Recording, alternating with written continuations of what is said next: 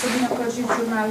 Meni se zdi, če so uh, ti delavci že izbrani, skratka, če so delovna mesta že razdeljena, pa me zanima, kakšno plačilo bojo dobili ti delavci, um, pa tudi to, kdaj bojo v bistvu vsi izvajalci dobili denar, a so ga že ali ga bojo kdaj.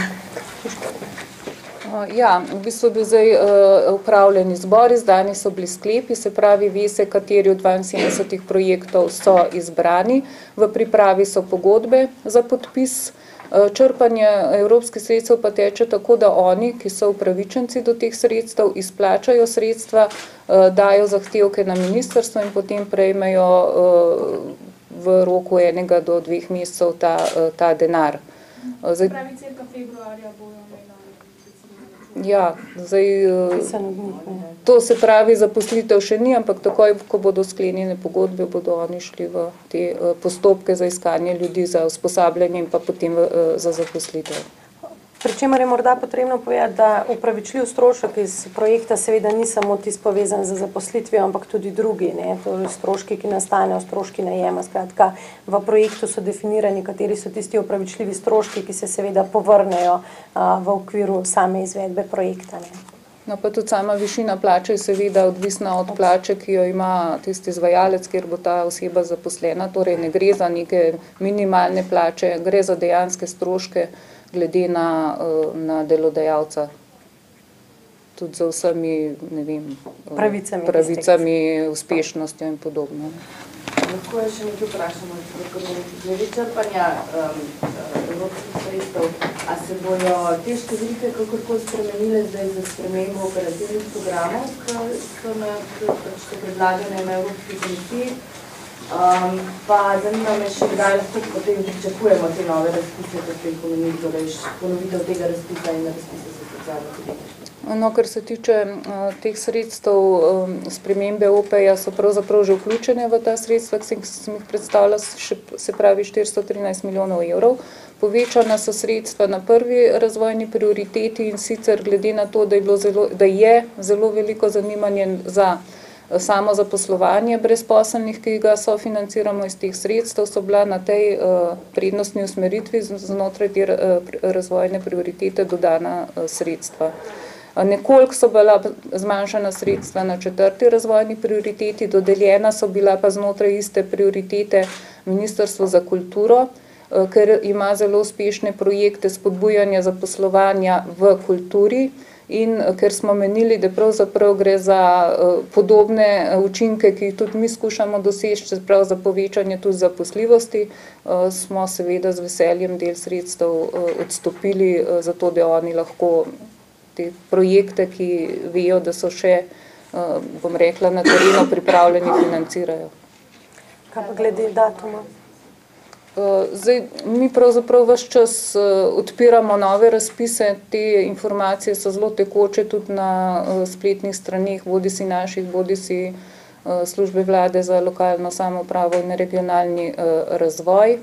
Tako da sam razpis o podjetništvu bo pa verjetno pripravljen tam v drugi polovici leta oziroma pričakujemo, da bo do konca letošnjega leta objavljen. Marij Bejov izdelal. Vsakočna cena, koliko teh delovnih mest in pa storitev, ki se bodo skozi to evropsko subvencijo ne, zdaj spostavile, pa bo ostalo tudi po tem roku dveletnem, recimo, koliko je sposobno preživeti na trgu?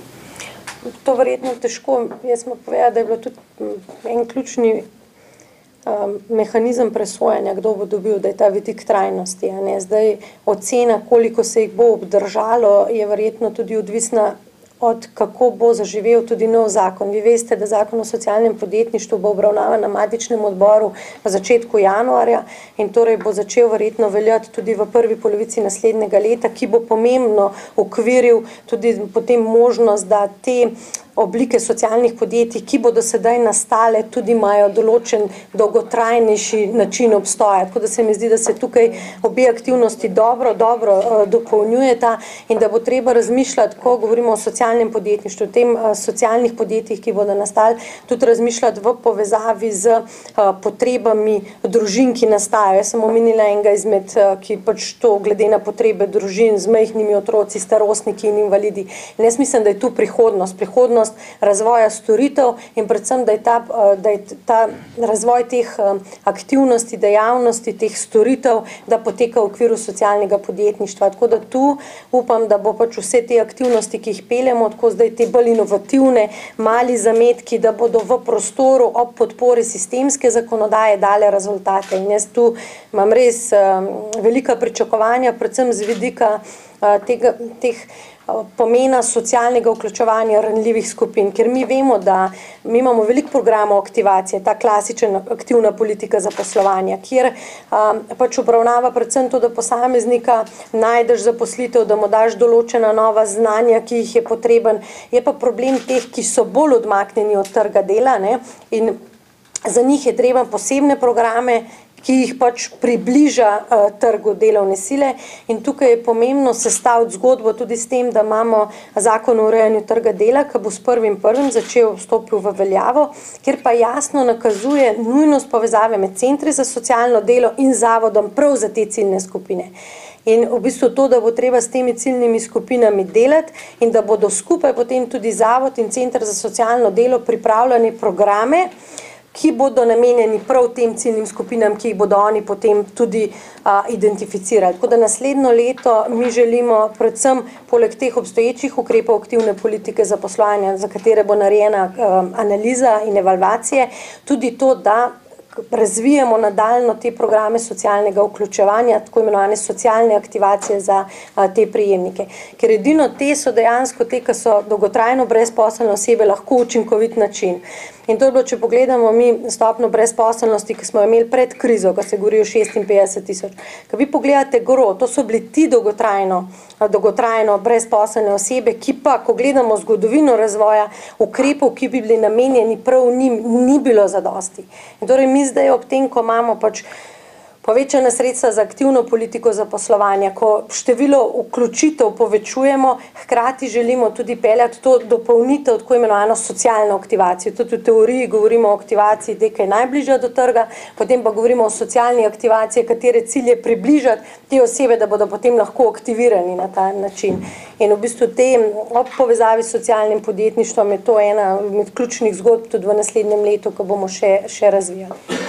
Torej, um, samo če dopolnim zakon o socialnem podjetništvu, januarja ne bi šel v parlamentarno proceduro, ja. nekje v prvi polovici leta pa veliko Ja, torej, mislim, da je prva obravnava predvidena v začetku januarja na matičnem odboru, potem pa gre še v državni zbor, seja državnega zbora je februar, marc, tam okoli marca, aprila ne bi zakon začel, uh, uh, bi stopil v veljavo, ne? tako da se v naslednji polovici leta. Julija Kočar, TV Slovenija. Mene pa zanima, kako boste nadzirali, da bodo ti projekti dejansko speljani tako, kot so mišljeni in da ne bo denar porabljen za kakve druge namene in pa morda, da ne bo šlo za izkoriščanje teh ljudi. Jaz mislim, da tako na no, pogodbi, ki jo seveda te, ki so bili izbrani in projekti so pač določene zaveze ne, in oni so bili, je točno zbrani so bili na podlagi tega, so, ko so kvantificirali, kaj bodo delali. Na podlagi tega so denar dobili in seveda je pogoj um, tega, da pridobivajo denar, je seveda računi, ki izkazujejo to, kar delajo ne? in hkrati tudi seveda poročila, ki jih morajo opraviti. Jaz pa verjamem, da so v uh, te, ki so bili izbrani tudi drugi, da gre predvsem za nevladne organizacije, da gre za neka partnerstva, ki jaz upam, da do da se ne bi dobri namen, ki je tu zadaj, izrodil v nekaj takega, da o tem razmišljamo. No? Da, ja. No, jaz bi rada povdarila, da je ta kontrola porabe sredstva iz Evropskega socialnega skleda zelo uh, stroga, da tako rečem, tako da vsak zahtevek, ki pride na ministrstvo, ga je treba, uh, mi rečemo, upraviti administrativno kontrolo. Eh, lahko pa tudi povem, da smo pri teh uh, projektih za socialno podjetništvo, ki zdaj že tečejo, upravili pri vseh tudi kontrolo na kraju samem, se reče, se pravi, grejo naši kontrolori tudi k samemu izvajalcu to pregledati in da razno pri enem praktično ni bilo ugotovljenih kakšnih nepravilnosti. Zelo pomembno pri tem je seveda, da so zelo jasni pogoji, v katerih se izvajajo Eh, projekti, eh, navodila, eh, listine, ki jih morajo imeti. In zato mi zelo veliko pozornosti potem, ko so te izvajalci zbrani, posvetimo tudi temu, da jih skličemo enkrat, dvakrat, tudi trikrat, če je potrebno, da skupaj gremo skozi visok dokumentacijo, se pravi, da se jih usposobi za samo izvajanje projektov in če vložimo ta trud, potem vidimo, da tudi pri samem črpanju in pri teh nepravilnosti ni eh, kakšnih težav. Jaz bi se rada samo še prej popravila, me je kolegica upozorila, ta no, ponovni razpis za socialno podjetništvo bo v naslednjem letu, ker namreč ti projekti tečejo in se iztekajo v naslednjem letu, se pravi do konca naslednjega leta, ko se bojo iztekali, bi radi pripravili že nov razpis, tako da tiste, ki se bojo izkazali za uspešne, bi jih lahko tudi naprej podprli. Hvala, imate še kakšno vprašanje? Drugač pa vas jaz, preden odidete, bo um, neka mala zakus, ko smo tukaj, tako da um, če boste ostali nekaj popili, pa da lahko še kakšno malo bolj neformalno rečemo, ste vabljeni.